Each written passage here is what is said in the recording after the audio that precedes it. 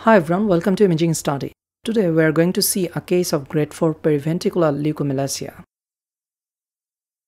A 29 days old preterm neonate admitted to the NICU was sent to us for brain ultrasound. It had history of perinatal asphyxia and hypoxic ischemic encephalopathy.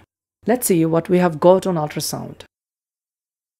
Here you can see the coronal section of the brain with high frequency linear transducer Extensive cystic spaces are noted throughout the cerebrum. This is the frontoparietal lobe and you can see these cystic structures. In sagittal section, you can see these extensive cystic spaces occupying not only the periventricular region but also the frontoparieto-occipital lobes. This is the lateral ventricle and you can see the hyperechogenicity at the periventricular region and diffuse cystic spaces throughout the frontoparietal lobes. These cystic spaces also extends up to the deep white matter this is the part of deep white matter and you can see the cystic spaces. And in coronal section, you also can see this is the periventricular region which shows the increased echogenicity. This is the frontal horn.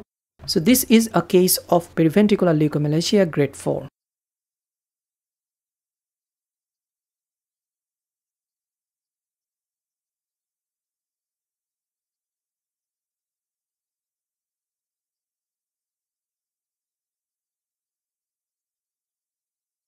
Here you can see the part of lateral ventricle. This is the thalamus, which is quite echogenic here. Here is hyperechogenic foci, which took my attention. Color Doppler shows internal vascularity, indicating the choroid plexus.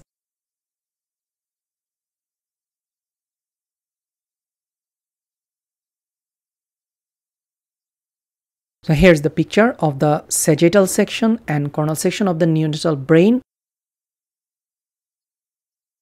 You can see this is the cavum septum pellucidum. This is the left frontal horn. Right frontal horn is not visualized here due to oblique section. And this is the midline fissure. You can see extensive cystic spaces and increased periventricular echogenicity with tiny cystic spaces extending up to the deep white matter. This is the sagittal section. You also can see these extensive cystic spaces. Here is another picture and you can see the increased echogenicity of the periventricular region with small cystic spaces extending up to the deep white matter. These cystic spaces are present in frontoparieto-occipital and also in the temporal lobes, indicating it as a grade 4 periventricular leukomalacia. So in summary, areas of increased periventricular echogenicity was noted. Extensive cystic lesions in frontoparieto-occipital temporal lobes are seen which extend up to the deep white matter, indicating grade 4 periventricular leukomalacia. This is also known as white matter injury of prematurity. Now the take-home message. There is a sonographic classification of periventricular leukomalacia in grade 1, there will be transient increase in periventricular echogenicity for more than 7 days. There will be no cystic spaces. In grade 2, there will be small periventricular cysts along with increased periventricular echogenicity. In case of grade 3, these cystic spaces extend up to the occipital and frontoparietal regions. And in grade 4, these cystic lesions extend up to the deep white matter.